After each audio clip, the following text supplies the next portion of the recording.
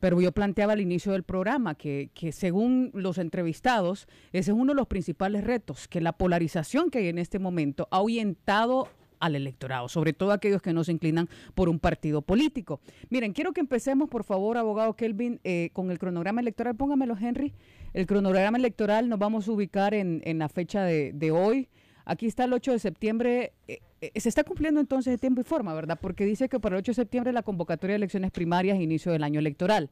Y después, ahí mismo, el 8 de septiembre, inicia el plazo de registro de empresas de medición de comportamiento electoral, dice aquí, encuestas y sondeos de opinión pública. Estamos bien entonces con las fechas. Sí, definitivamente nosotros estamos dejando las bases para que haya un proceso de elecciones primario e interno confiable, transparente, justo y democrático.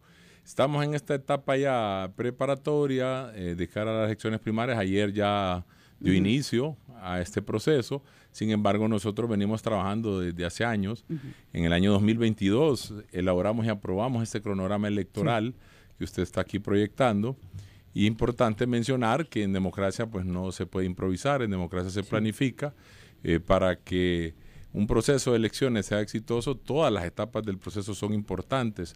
No hay una que sea más importante que la otra. Sí. Y para que tengamos un buen final debe de haber un buen inicio. Y por eso, eh, desde que terminó el proceso de elecciones generales del año 2021, con la declaratoria, con la reposición de elecciones, nosotros empezamos a trabajar uh -huh. en la planificación de este proceso de elecciones primarias e internas.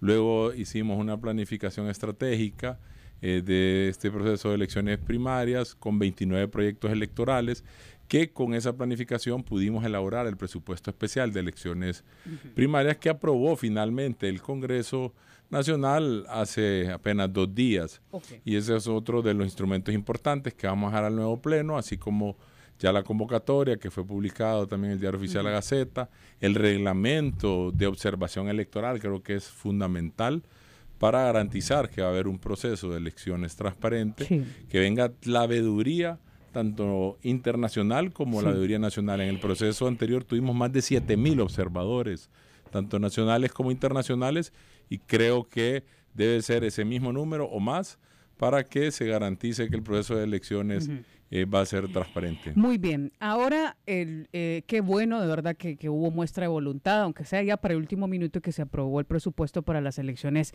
eh, primarias en el país. Pero vamos a, a la situación que todavía no, no se ha aclarado en el Congreso Nacional. Fueron convocados a las 2 de la tarde, son las 4 con 13 minutos y no se han aprobado esas reformas electorales. Eh, escuchábamos hoy a los diputados de las diferentes bancadas en Diario Matutino y decían que al final todo se centra en dos artículos en el 263 y 278. Y ya voy con el señor Augusto. Usted nos enviaba una imagen, ¿verdad? Sí, Pongámosla, Henry, por favor. Sí. Pongamos esos artículos, ¿qué es lo que nos dicen? Y decía el Partido Liberal, nosotros no vamos a apoyar nada que huela, se parezca o camine como un acta digital. Y decía el diputado Barrios, pero es que, es que no, no habla la ley en ningún momento de la acta digital. No sé si podemos eh, leerlos entonces, abogado. Vamos a, a ver estos artículos. ¿De qué hablan estos artículos? Bueno, el artículo que le envié yo es el 259. Ajá, el 259. A ver, ¿qué dice la ley este electoral, artículo? ¿Por qué se lo mando y por qué lo traigo a colación? Es relacionado a esta reforma que se pretende implementar del uh -huh. 263 de la biometría, donde es importante mencionar que en su numeral 15 ya habla de que la biometría es obligatorio. Es decir, nosotros eh, como Consejo Nacional Electoral implementamos por primera vez un proceso de elecciones en el año 2021 lo que fue la biometría. Uh -huh se aplicó al 86% de los ciudadanos que fueron a ejercer el sufragio. O sea, fue exitoso.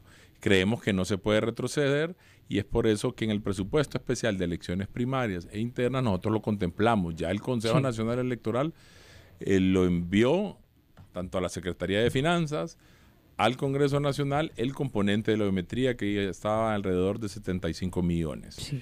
Y es por ello que se garantiza de que va a haber biometría uh -huh. en este proceso de elecciones primarias internas y en el proceso de elecciones generales, porque ya ese artículo que está en pantalla ya lo prevé. Sí. Y por lo tanto, yo soy del criterio jurídico que no se requiere una reforma electoral a mm. ese otro artículo del 263, uh -huh. porque ya la ley es clara y se debería dejar así como está. Y recordemos que una reforma electoral se necesita lo que es la mayoría calificada, por lo que es un amplio consenso. Y eh, ya estamos a 24 horas de que asuma un nuevo pleno de consejeros y hacer reformas electorales con un pleno saliente creo que tampoco es lo correcto. Ni al 263 ni al 278, que el 278 habla sobre la transmisión de resultados electorales. Tampoco. Sí, mi criterio es que tampoco se requiere una reforma electoral. Y peor ese artículo que habla de tres niveles electivos, que prácticamente le está poniendo una camisa de fuerza al Consejo Nacional Electoral para que dé los resultados de los tres niveles. El Consejo Nacional Electoral en las elecciones generales del 2021 también dio transmisión de resultados y divulgación de resultados en los tres niveles electivos.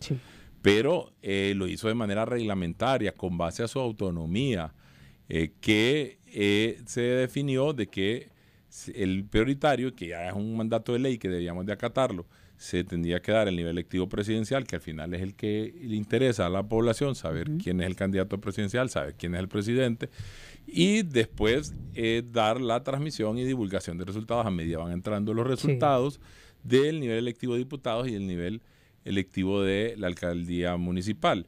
Y en ese sentido considero a un criterio particular de que no se debería de poner como un mandato de ley más ese artículo 278 porque establece de que en caso de inobservancia por parte del Consejo Nacional Electoral, si se reformara y, se dejaran los tres niveles, se incurre una responsabilidad por parte de los consejeros, cuando sabemos que eso depende también de los miembros de la Junta Receptora de Votos que las manejan los partidos políticos. Entonces, en eso mejor, si se va a reformar ese artículo, entonces mejor reformemos también eh, lo que son los miembros de las mesas y que se haga la ciudadanización de las mesas y, sacamos a los partidos, porque imagínense si un partido le da línea a sus miembros de mesa que no haga la transmisión, y va a ser responsabilidad del Consejo Nacional Electoral si no lo quiso transmitir. Además que necesita una capacitación y mejorar la infraestructura que en otro de sus programas, pues visto lo hablamos, es el tema de la infraestructura.